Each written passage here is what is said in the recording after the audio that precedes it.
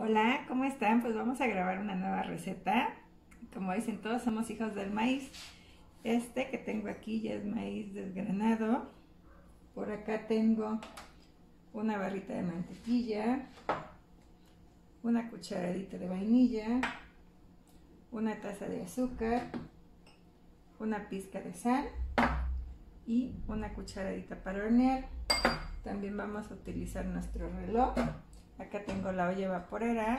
Para hacer la vaporera, la olla express, compré este accesorio, lo venden en cualquier mercado. Tengo nuestras hojas, porque vamos a hacer unos tamales de lote.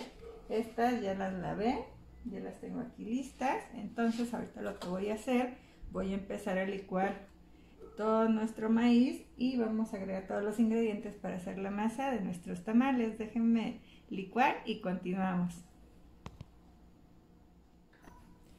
Miren, algo que es súper importante, ahorita yo ya licué la primera parte en la licuadora, obviamente.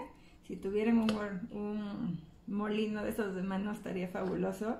Yo lo que hago, lo voy poniendo en el colador. ¿Por qué? Porque va soltando como una agüita. Entonces esa agüita se va escurriendo y ya después lo voy a pasar a otro bol para poder integrar todo. ¿Sale? Ahorita lo voy dejando.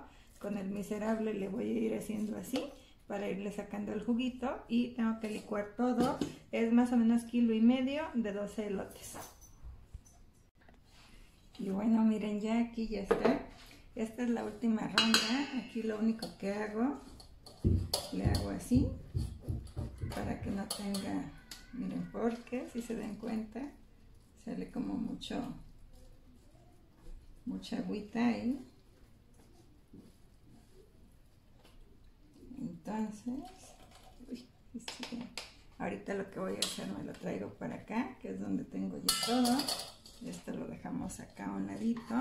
Y ahora lleva una cucharada de vainilla, una taza de azúcar, una pizca de sal. La sal nos sirve para potencializar los sabores. Una cucharadita de polvo para hornear eso va a hacer que nuestro tamal quede esponjosito. Y también lleva una barrita de mantequilla. Esta es lo que hice, la derretí en el horno de microondas. Ah, huele delicioso. Me encantan los olores y sabores. Ahorita lo único que tengo que hacer es mezclar todo y vamos a empezar a hacer los tamales. Déjenlo, acabo de mezclar y ahorita continuamos. Voy a utilizar las mismas hojas, entonces estas ahorita ya las lavé. Aquí ya está la mezcla lista. Miren, con una cucharadita, así queda. Vamos a doblarlo. Así, miren, redondito. Y este es de acá abajo. Entonces así debe quedar nuestro tamalito. Aquí en nuestra ollita los vamos a ir poniendo paraditos. Obviamente este todavía no se va a parar bien porque es el primero, pero ya que ya tengamos todos va a quedar súper bien. Dejen, los hago todos y ahorita les enseño lo que continúa. Bueno, ya este es el último. Aquí ya le puse toda la mezcla. Así miren. Estas hojitas, obviamente las que me dieron, las escogí para que tuviera la facilidad de poder hacerlas estoy metiendo. Miren, así es como se debe ver. Se enrolla de la parte de abajo hacia arriba y se colocan paraditos. Ahorita lo que voy a hacer, ya mi olla ya tiene agua, la voy a tapar, la voy a encender y la voy a dejar 45 minutos y en un ratito más les muestro cómo quedaron. Pues que les cuento que ya pasó el tiempo, ya están nuestros tamales listos. Esta es una receta que tenía muchísimas ganas de preparar porque ya tenía muchísimo que los había preparado. Entonces ahorita ya abrí la olla, dejen de una vez lo saco. Miren, aquí está.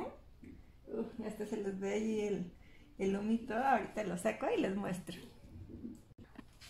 Pues ya saqué nuestros tamalitos. Los hago para acá. Miren, aquí están. Miren qué calientitos están. Este está saliendo el humito. ya tengo por aquí un tenedor listo. A ver. Wow. Miren cómo se ve. Está súper caliente. Obviamente no lo voy a probar porque me voy a quemar, pero Miren, ¿ya vieron? Quedaron súper, súper bien. Ah, si les gusta la canela, a la mezcla le pueden poner una pizca. Yo le puse. Estos a mamá le gustaban así como están directos o en un vaso con leche.